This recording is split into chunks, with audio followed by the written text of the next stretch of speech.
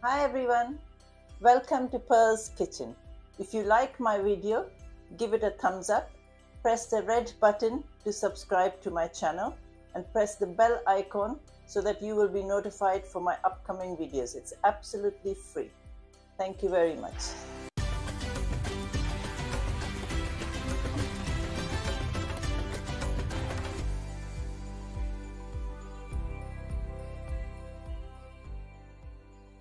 The greatest glory in living is not that we won't fall, but we can rise every time we fall. Amen. Today I'm going to show you how to make jalebis. These are one of India's most popular sweets and it's my daughter's favorite sweets and here are the ingredients. Okay, I'm going to show you the ingredients in two sections. This, these ingredients are for the batter for the jalebi. So in this bowl I've got one cup of plain flour, that's around 150 grams. In here I've got three tablespoons of corn flour and I've got one quarter teaspoon of baking powder, one third of a teaspoon of soda bicarb, and I've got 150 ml of water in there. We'll also need two teaspoons of ghee, melted ghee, I'll melt it a bit later.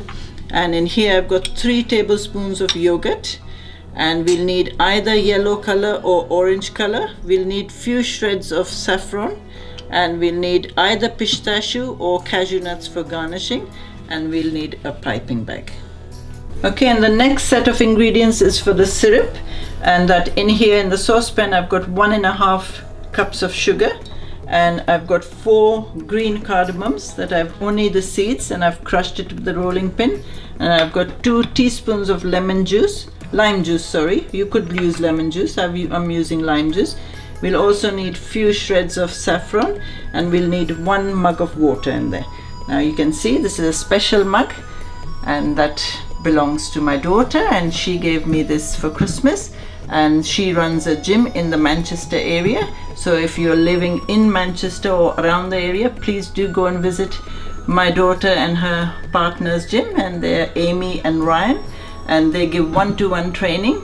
And uh, where if you go there you'll be welcomed by one of the most friendliest dog ever. And that's our dear Maple.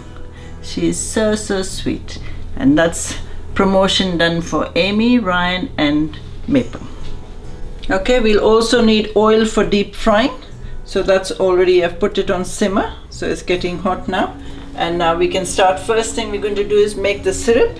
So put the gas on and you add everything into this into the water into the sugar you add the water you add the lemon juice lime juice and the crushed green cardamom and few shreds of saffron.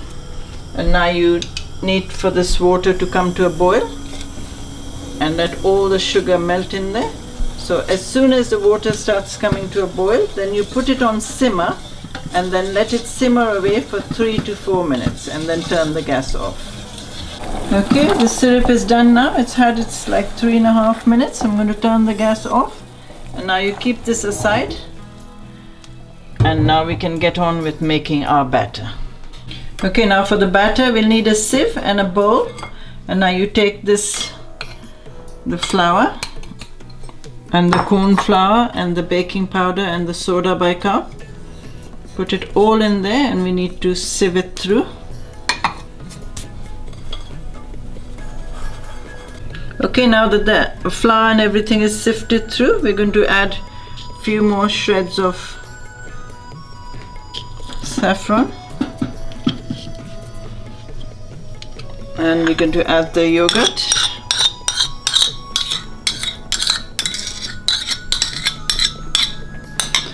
Then we're going to add around two teaspoons of ghee.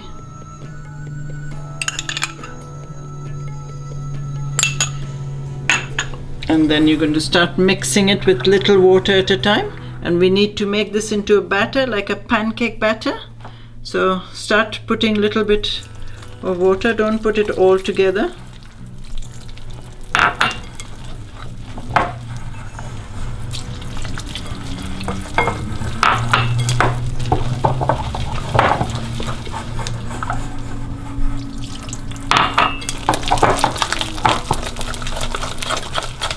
Okay, whisk it.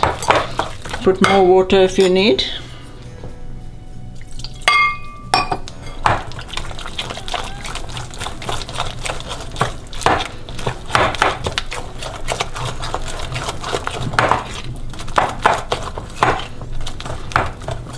bit more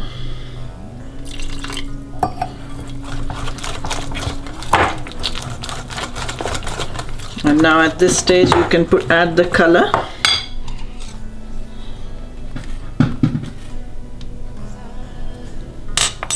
I'm putting yellow color. It's a tiny bit more.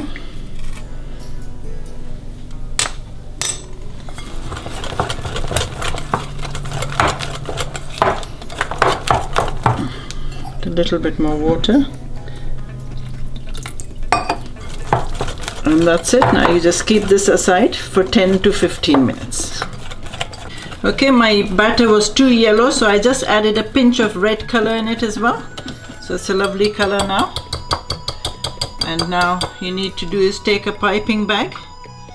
And if you don't have a piping bag just any ordinary polythene bag will do. Just make a small cut in the end of the bag like 5 mm like a hole in it. And now you start putting this batter into this piping bag. Okay as soon as you fill the batter into the piping bag make sure it's tied at the top and keep your finger here because it starts pouring out. And you can see I've changed the karai into a frying pan because that was too deep. And now we're going to make some jalebis. So you're going to start making in circles. Start from the middle and keep going round and round and then taper it off in the middle. Okay make sure your oil is hot and then you keep going.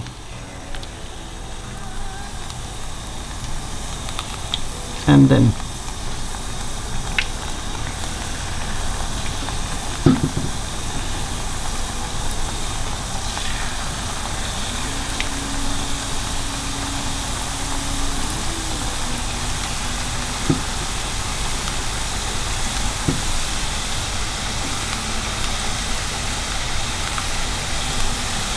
one more. And that's it. We'll do the first batch. Now we need to fry this. It doesn't take long. This needs two to three minutes each side.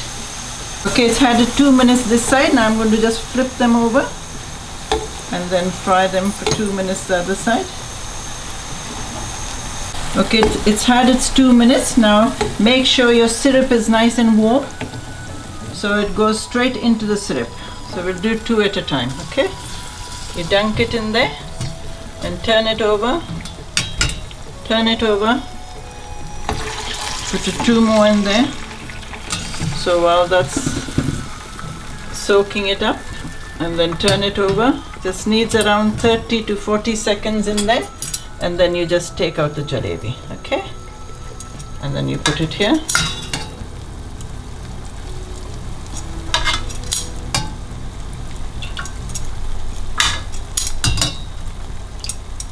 And then you do the rest with this.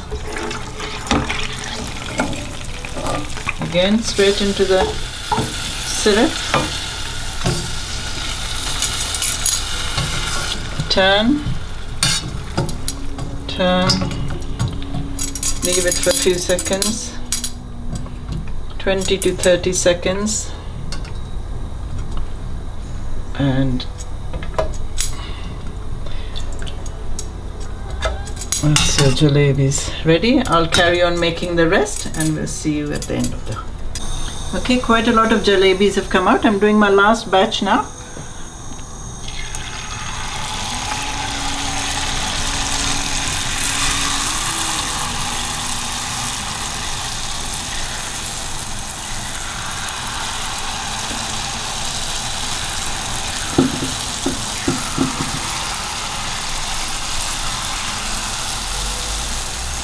running out of batter now.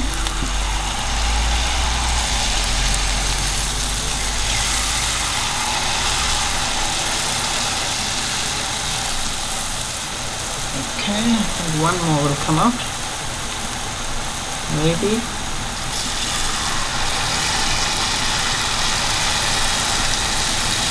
Yeah. That's it. Turn them around. That's our lovely jalebis ready. They really look delicious and really taste delicious. My daughter will love them. Now you can either eat these on its own or you can eat, dip it in yogurt and eat. My daughter eats it on its own and just before you serve it, you just garnish it with either cashew nuts or pistachio. So just few bits of nuts, any nuts you can use actually. And there you go. So that's our lovely delicious jalebis. Now these if you make if you're a parent of little toddlers, your children would love watching you make this and they love eating it like my children did. So I hope you like it. Don't forget to share my link and to write on the comments what you think about it. And I shall see you next time with some more delicious cooking. But until then, may God go with you and give you his peace.